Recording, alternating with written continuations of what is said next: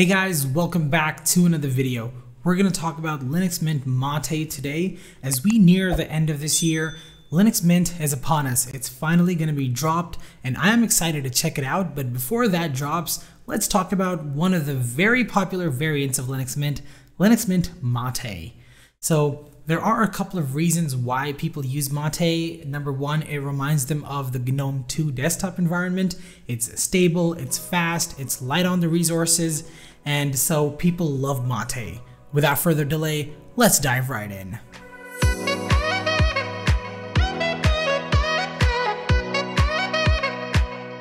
The moment you log into Linux Mint, you are going to be greeted by this screen. Welcome to Linux Mint, welcome to your new operating system. The goodies that come inside First Steps, they have changed a little bit. We're going to talk about that, but before that, let's go through some of the documentations. You have help, and you can also contribute to the Linux Mint project by either donating or by uh, contributing to the code base, whatever you see fit. So before diving into the first steps, let's give you a brief overview of the Mate desktop if you if you are not familiar with it. So on the left hand side, we have the start menu, which in my opinion, it looks beautiful, absolutely mm, like cleanly organized into shortcuts and then you have some things for your system settings and you have lock, lock screen, log out and quit. Apart from that, you have application categories and inside each category you have all of your applications. You, it comes out of the box with LibreOffice, a very capable and competent alternative to Microsoft Office. And if you click on all, you're gonna see all the applications that you have. And apart from that, you also have a favorites bar where you can see what kind of apps are pinned to your start menu. Now you also have a search bar, which in my opinion, is very well developed in the Mate desktop. So let's search for something totally random. Let's say dog. And as you can see, not only does it try to search for any packages or any files with the name dog, but it also gives me search results with DuckDuckGo, Wikipedia, and also gives me the option to look up the word in the dictionary. And I can also search my computer for dog. So that's actually pretty good. You can see that I have no files found for dog because I don't have any file named dog, but if it was here, it, it would have found it. So that's pretty cool. So on the right hand side, we have a button for system reports. So maybe something requires my attention. It doesn't matter. I'm running it inside a VM, so it doesn't really matter. You have Update Manager. This is a very nice tool. This is available in the Cinnamon, Mate, as well as XFCE editions. Update Manager has files, so you can go to your preferences. You can set where you're gonna get the options from, uh, like where you're gonna get the mirrors from, uh, what kind of auto refresh schedule you want, the packages. You can even automate some stuff. I'm not an expert on these, so let's just focus on the basics for today. You can install updates from here. There is literally no need to touch the terminal once you are inside Linux Mint, whatever version that be. Now, you also have an audio panel and you also have a small calendar for date and time. So now let's go through this welcome dialog box because I feel like a lot of things are different because this is my first time checking out Mate with you guys. And the last time I did, it was in Ubuntu Mate and that was a completely different experience. And Mate is very customizable, by the way. So let's go through the desktop one by one. First is the desktop colors. Here we can see that we have a ton of options. So customizability is very, very good in Mate. Let's go ahead and let's apply Mint L dark blue or dark aqua. I, I have a very hard time choosing between, the, between these two, so let's just go ahead with aqua. And it looks really, really good. Now you have plenty of more themes. You can delete some themes, you can save, you can customize themes. As you can see, even inside a theme, you have controls, window border, icons, pointer. You can change pretty much everything. I would go, I would like to go back to Bibata or Bibata. I'm not, not really sure how to pronounce the name, but I love this mouse pointer and I'm gonna stick to it. You can change the backgrounds. Now they take a little bit of time to load, so there you go. Again, I have mentioned this countless times, but Linux Mint offers an amazing plethora of wallpapers. This is what attracts people to an operating system in the first place. Like if you if you're new, if you don't know anything about it, you have to be attracted by the looks to find interest in a certain subject, right? So IMO, this wallpaper looks amazing. I'm gonna keep it and you also have fonts and you can also change different things in the interface such as show icons in menus, show icons on buttons, and inside file you can show hidden items, show column size, type column, and sort directories first. So you have a preview over here. If you change something, it's going to change, I guess. You also have system snapshots. You can create snapshots if you or if you break something, you can always go back a snapshot and that way your operating system is basically break proof. You also have driver manager to manage all of your drivers if you're running on an NVIDIA graphics card or something, or if you have some uh, some things like a printer or something where you need to have the drivers downloaded separately that are not included as a part of the kernel, then driver manager is for you. You also have multimedia codecs, so you need to download codecs. It actually it gives you the option to download the codecs when you first try to install Linux Mint. But if you skip the step, because maybe let's say you don't have internet connection when you're installing the operating system, you can just launch multimedia codecs and you can install whatever was missing. We have already checked out Update Manager and like it says, install additional software. Do you want to install Mint Meta Codecs? I'm not gonna do it right now.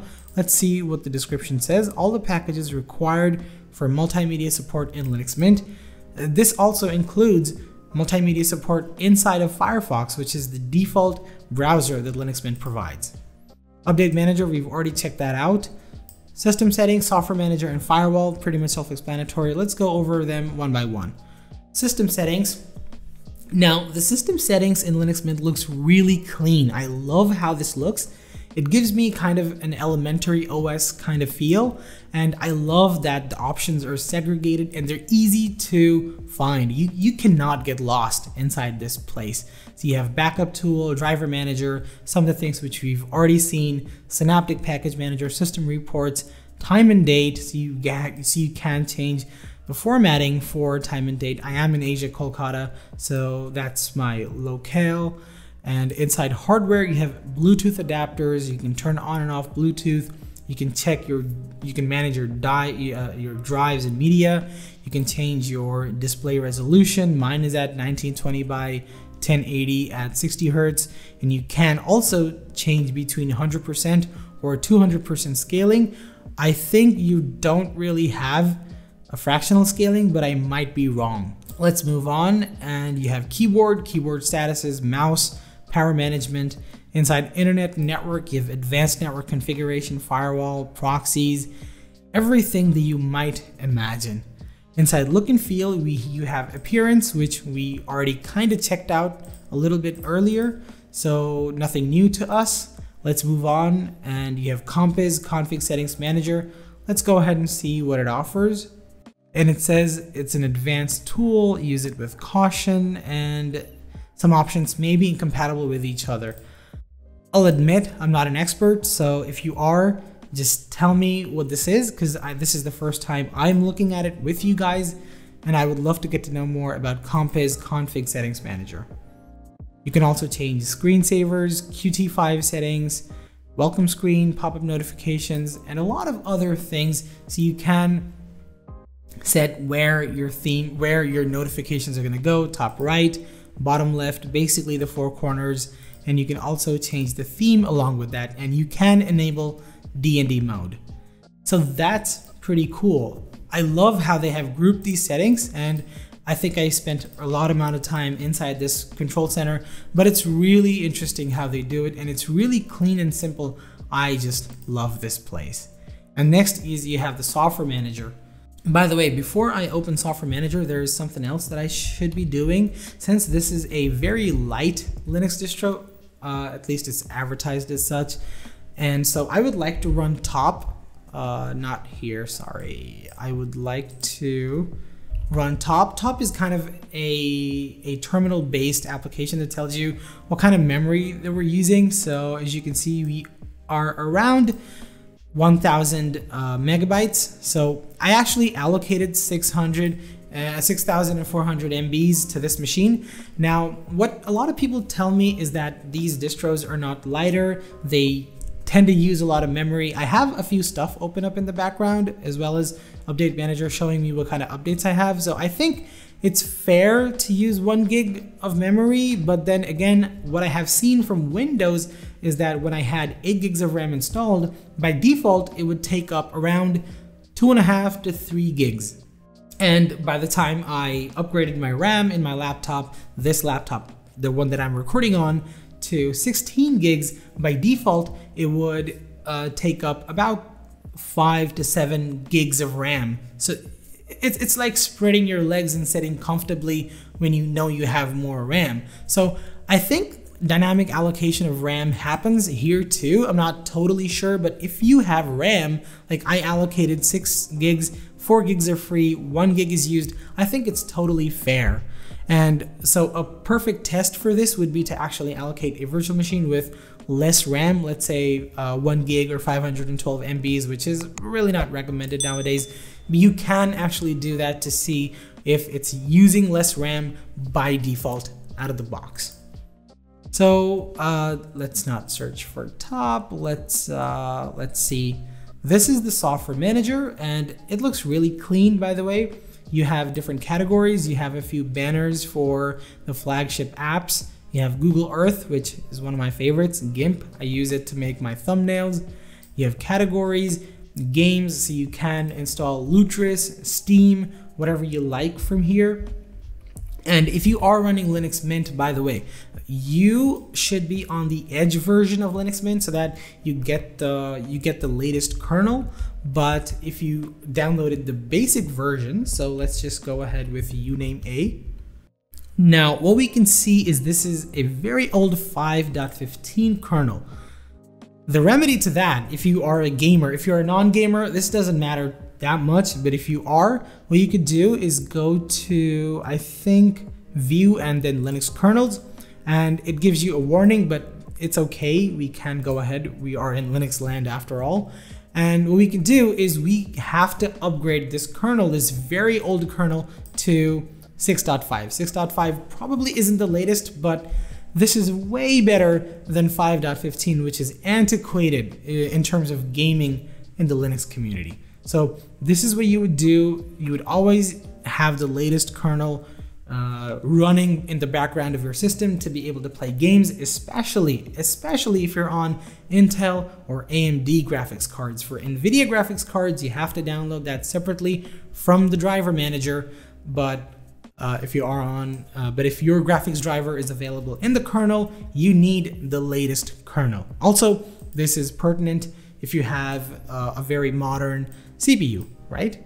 Yeah, uh, kernel, that's not going to be a problem. But if you don't want to update the kernel uh, by yourself, there is something called Linux Mint Edge. You can download the Edge edition and it generally provides a newer kernel uh, at a particular frequency and that solves your problem uh, basically for you. So you have Lutris, you have Steam, you can install any of these packages. It's beautiful how Software Manager actually looks. It takes a little bit of time to load the settings, uh, to load the screenshots, but this is a system package. You can install these. You can see ratings, you can see reviews, and uh, that's it. So yeah, this maybe isn't as fleshed out as something like the Pop Shop or the Elementary OS uh, software manager. It's not that aesthetic, but it does the job. It has everything available, and uh, that's all that you could ask for. So with that, we basically end the welcome section and I think I have covered the desktop pretty well. As you can see, we have a Windows XP style tab layout. This is this is pretty cool. And you also have three little dots. I think they are a separator. You have a file manager, which is I think Kaha, Kaya. I'm not not totally sure how to pronounce this. And uh, it's functional. It looks beautiful. The integration with the blue theme, blue theme, the Minty L Aqua, whatever I put, it looks pretty good. So this is a first look at uh, Linux Mint Mate. You also have a couple of new things, one of which is Hypnotix.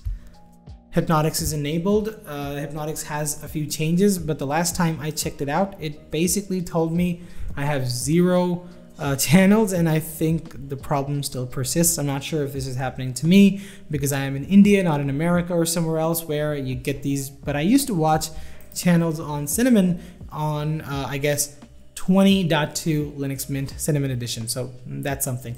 Another thing uh, that's enabled out of the box is you have secure boot compatibility. So you, if you're someone who, uh, like me, loves to dual boot Windows and Linux, then there is no need for you to disable secure boot uh, before going uh, to install Linux. And a problem is if you have uh, Windows 11 by default on your laptop and you don't want to get rid of it, because I don't, I still use Windows 10 on my machine. That's what I edit my videos on using Premiere Pro.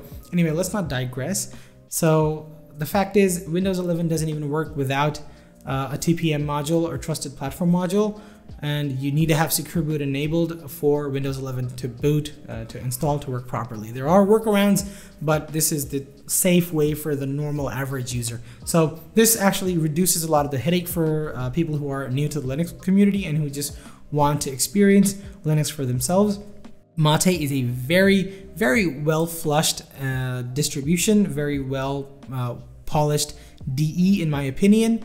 It has a ton of apps. It ships with uh, more or less all the things that you would want. It's, everything is so properly uh, mentioned over here. And as you can see, uh, over time, as I have used, as I am using this desktop, the memory usage actually reduced to 795 megabytes. And you can also reduce the swappiness, by the way. I'm not, not, not really sure where from where you could do that, but there are plenty of guides on the internet that would help you. So that's something that you might want to do. Okay, so I think with that, this is uh, a fair review of the Linux desktop. And I thank you guys for watching, and I'll catch you on the flip side. Peace.